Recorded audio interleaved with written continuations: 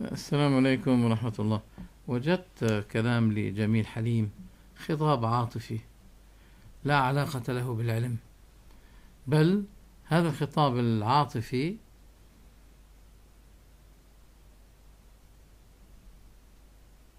مليء بالثغرات والإلزامات.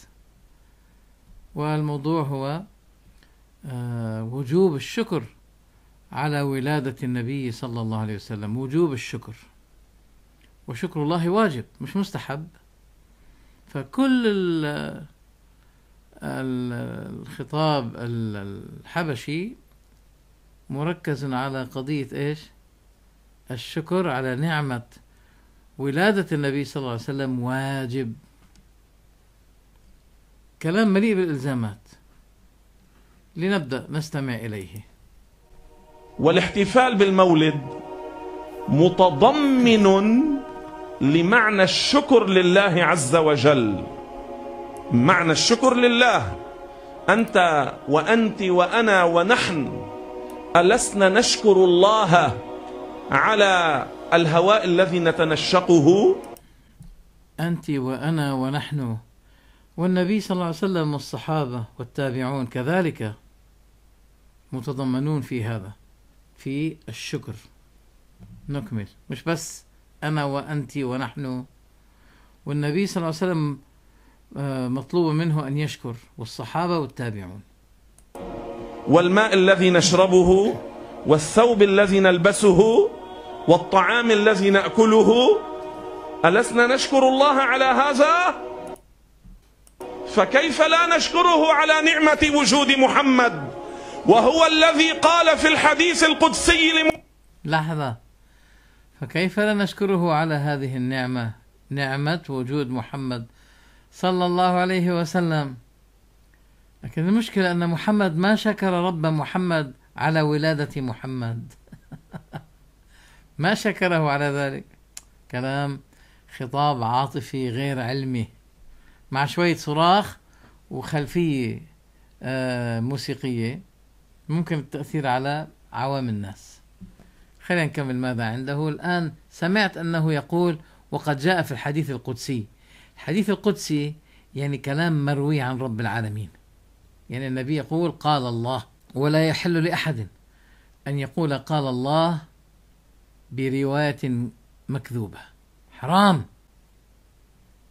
خلنا وهو الذي قال في الحديث القدسي لآدم لولا محمد ما خلقتك ولا خلقت الجنة. الله صرخ الناس. الله. كذب ولو يا جميل حليم هذه الرواية كما سوف تذكر أنت الآن. لحظة خلينا نكمل. رواها الحاكم في المستدرك. الله يقول لآدم في الحديث القدسي الذي رواه الحاكم في المستدرك على الصحيحين لولا محمد ما خلقتك ولا خلقت الجنة. ما معنى هذا الحديث؟ لحظة قبل ما نجيب معنى الحديث هذا الحديث رواه عبد الله الفهري وقال الحاكم حديث صحيح فتعقبه الذهبي وقال بل موضوع. وشيخكم شيخكم الحبشي سمعته بأذني وهو يقول لا يقبل من الحاكم رواية إلا بتعقب الذهبي. لأن الحاكم متساهل. فإذا قال الذهبي صحيح قبلت. وإذا تعقبه وقال بل موضوع فلا يؤخذ بتصحيح الحاكم حاكم متساهل وبسبب هذه الرواية انتقده ابن حجر. وقال قال الحاكم في مقدمته أن هناك رواة لا أروي عنهم لأنهم معروفون بالكذب منهم عبد الله الفهري. فكيف الآن ناقض الحاكم نفسه وروى في كتابه المستدرك رواية فيها عبد الله الفهري وقال أنها صحيحة؟ وقد انتقده على ذلك ابن حجر والنووي وكثيرون واتهموه بالتساهل وضربوا مثالا لتساهله بهذه الرواية التي هي قول الله كذبا. لآدم لولا محمد ما خلقتك ولا خلقت الجنة. يعني قول الله إني, إني جاعل في الأرض خليفة يعني الله قال للملائكة ذلك لأني أريد أن أخلقها من أجل محمد. هذا كله كذب. كذب هذا كذب لا يقبل. ولئن كان ما يدعيه صحيحا فلماذا ترك عمر التوسل بالنبي صلى الله عليه وسلم بعد موته؟ وكذلك الصحابة وكذلك معاوية بن أبي سفيان وكذلك لم يتوسل به عمر بعد موته وإنما توسل بأويس القرني لما لقيه بناء على قول النبي صلى الله عليه وسلم فمن لقيه منكم فليستغفر لكم. فقيد التوسل باللقاء بالحي. طيب نشوف الآن معنى الحديث عند حضرة جميل حليم. أي أن الله خلق الدنيا ليظهر محمدا صفوتها. الله والناس متأثرون. الله ليظهر, ليظهر محمدا صفوتها.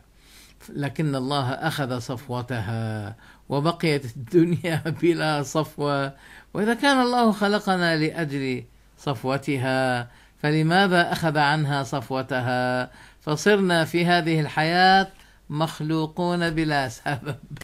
صرنا مخلوقين بدون سبب. لأن سبب خلقنا اللي هو صفوتها إيه توفاه الله عنها صفوتها راح عنها. فنحن كالبهائم عايشين الآن بلا سبب. شفتوا الكذب؟ كذب على رب العالمين. لكن أنت أنت على دين الإسلام أنت ولا أنت متعلم الناس الإسلام ولا عم تعلمهم الكذب؟ هذا تعليم للناس الكذب.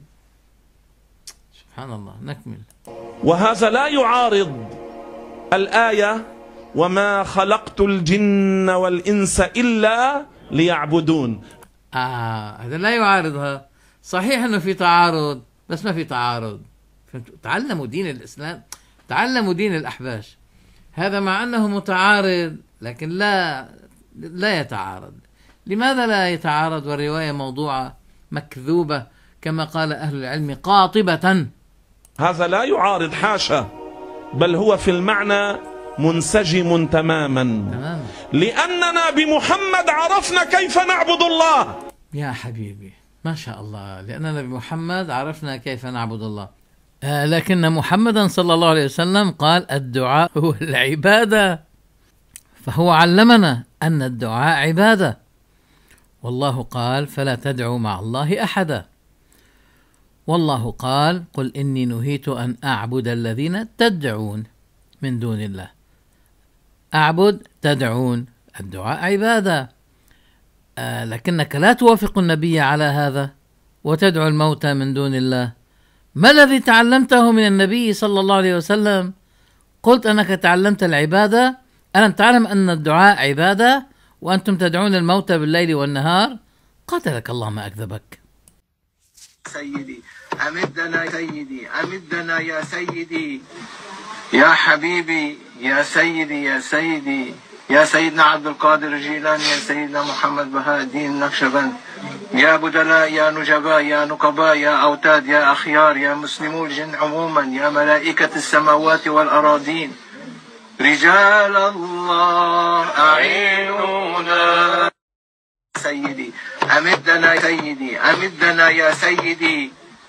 يا حبيبي. هذه عبادة شرك مخالفة لما علمكم النبي صلى الله عليه وسلم. فكيف تقولون علمنا العبادة شوفوا الشرك شوفوا منادات الموتى وطرق طرق الخشب. يأملون أن يستجيبوا لهم والله قال إن تدعوهم لا يسمعوا دعاءكم ولو سمعوا ما استجابوا لكم. شوفوا طرق الخشب. طيب وعرفنا كيف نشكر الله. إذا قلت نعم إذا نبينا كيف يكون علمنا كيف نشكر الله وهو لم يشكر الله على ولادة محمد؟ بدنا نعرف. بدنا جواب. بدنا جواب. كيف علمنا النبي أن نشكر الله لكنه ما شكر الله؟ ولا الصحابة شكروا الله ولا التابعون شكروا الله. ما شكروا الله إلا النصارى. باحتفالهم بميلاد المسيح. وأول من شكر الله الرافضة العبيديون الفاطميون الباطنيون برئيسهم آه، المعز لدين الله الفاطمي اللي أنشأ كما قال محمد بخيت المطيعي في كتابه أحسن الكلام الذي طبعه الأحباش مؤسسة الكتب الثقافية لحبيب طه. طبعه الأحباش وصرح فيه. بأن أول من عمل هذا المولد هم الفاطميون العبيديون الباطنيون. إذا هدول هم الذين تعلمنا منهم كيف نشكر الله. مش من محمد لأنه أنتم تقرون بأن النبي صلى الله عليه وسلم لم يحتفل بعيد مولده. شفتوا كيف؟ كلام باطل. زي ما قلت خلفية موسيقية أنشودة مع صوت رنان عالي طبل أجواف خلاص. يقتنع الناس. نكمل. وبمحمد عرفنا كيف يكون الإسلام والإيمان. هو الذي دلنا على الإيمان. هو الذي دلنا دلنا على الإيمان. فلما سأل الجارية أين الله؟ قالت في السماء. فقال لصاحبها اعتقها فإنها مؤمنة. دلنا على الإيمان. لكن هل أنتم يا أحباش أنتم راضيين بهذا الإيمان ولا بتحرفوا هذا الإيمان؟ نقول لكم فقط قولوا بلسانكم نؤمن أن الله في السماء كما قال. نؤمن أن الله في السماء كما قالت الجارية. والجارية صحيح أنها جارية لكن النبي أقرها على كلامها وأثبت إيمانها لما قالت أن الله في السماء. أنتم تعلمتوا من محمد عقيدة التوحيد والأسماء والصفات ولا تعلمتوها من أرسطو؟ الذي قال لكم لا يجوز أن يكون الله في مكان أو فوق مكان أو على مكان. والله قال الرحمن على العرش استوى. قال تعلموا من محمد قال أنتم تعلمتوا عقيدة أنتم تعلمتم عقيدة الإسلام من النبي محمد صلى الله عليه وسلم؟ نكمل. تفضل يا أستاذ. هو الذي دلنا على الإسلام وبه عرفنا الإسلام وبه عرفنا القرآن إذا نحن نشكر الله على هذه النعمة. أنتم كفرتم بهذه النعمة لأنكم تكذبون النبي صلى الله عليه وسلم يقول لكم كل بدعة ضلالة تقولون لا. إن أبي في النار؟ لا. ليس في النار. الله في السماء؟ لا. الله ينزل إلى سماء الدنيا؟ لا. طيب مين بينزل رحمته. ليش رحمة الله ما بتنزل إلا بس بآخر الثلث الأخير من الليل وباقي النهار. وثلاث أرباع الليل ما في الله ما في رحمة. بس ضيقتم الرحمة إلى الثلث الأخير من الليل بس وبعدها ما في رحمة.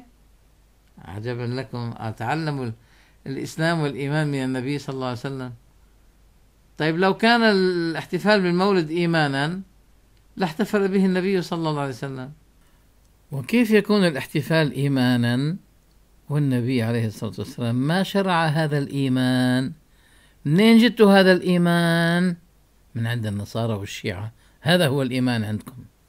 ما يكون النبي محمد وهابي عندكم. نكمل.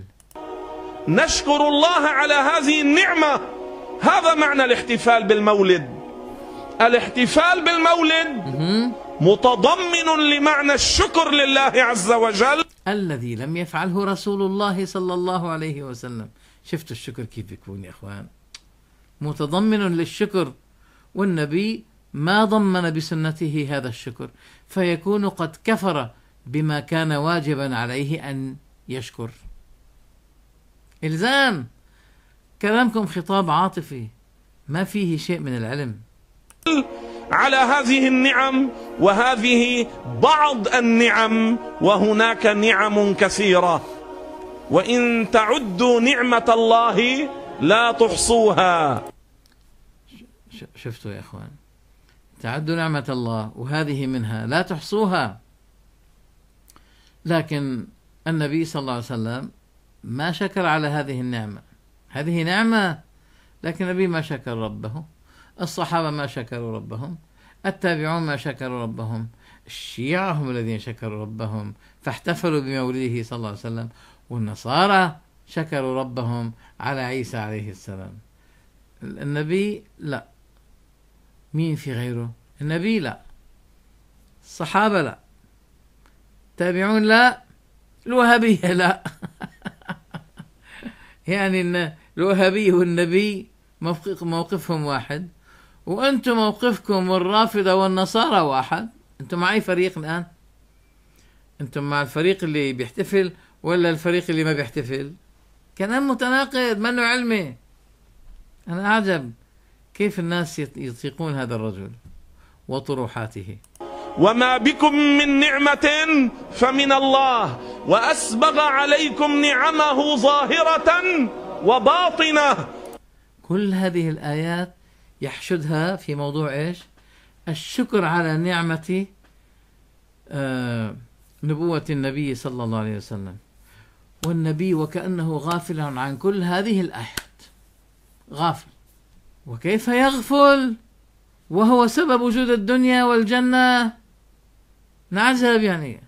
يا أما يا أما في يعني هذا كلام يؤدي إلى الشك بالنبي صلى الله عليه وسلم. يا عمي كيف نحن نشكر ربنا والنبي ما شكر ربه على هذه النعمة؟ وقال لئن شكرتم لأزيدنكم. يعني لئن احتفلتم لأن الاحتفال شكر. ولئن كفرتم إن عذابي لشديد. إن كفرتم بهذه النعمة ولم تشكروها إن عذابي لشديد. كما أقول كلام عاطفي آه إنشائي باطل وهو سم في نفس الوقت من أجل تسميم الناس بالبدع وغيرها. كلام عاطل باطل.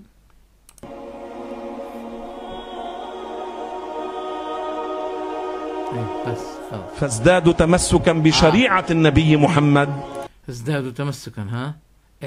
احتفلوا بما يحتفل به. وإذا لم يحتفل لا تحتفلوا. كيف؟ هذا المعنى تمسكوا؟ لكن أنتم عادة تقولون تمسكوا وتقولون يجوز أن تبتدعوا. ولذلك يرد عليكم الشافعي ويقول فيما رواه عنه الحافظ بن حجر وغيره ولكننا نتبع سنة الرسول صلى الله عليه وسلم فعلا وتركا. مش بس فعلا وتركا. لأن الترك سنة أيضا ليس فقط. فعل ما فعله النبي صلى الله عليه وسلم سنة وإنما ترك ما تركه النبي صلى الله عليه وسلم سنة. لا سيما وقد كان قادرا على أن يفعله. لا سيما وأنه كان قادرا على أن يفعله. فإذا كان قادرا على أن يفعله فلماذا لم يفعله؟ لم يكن قادرا على إنشاء ال- ال- الطائرات والقطارات والسيارات. ولذلك هذه بدعة حسنة لأنها تستعمل الآن حتى في الدين المواصلات إلى مكة إلى كذا.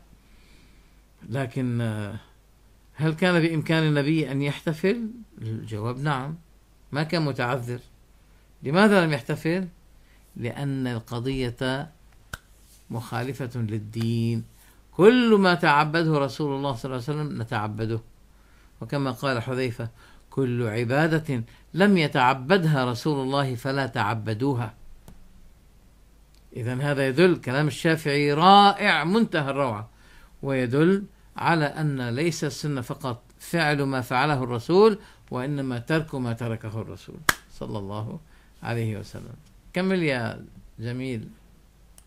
واقتدوا برسول الله محمد و... واقتدوا برسول الله محمد. فإذا فعل شيئا فافعلوه وإن تركه فاتركوه. شفتوا عم لكم جميل حليم اقتدوا. هذا معنى الاقتداء. اعملوا بأخلاقه تنجحوا وتربحوا وتفلحوا في الدنيا والآخرة. رزقني الله ذلك وإياكم. والحمد لله رب العالمين. هللوا وصلوا على النبي. اللهم صل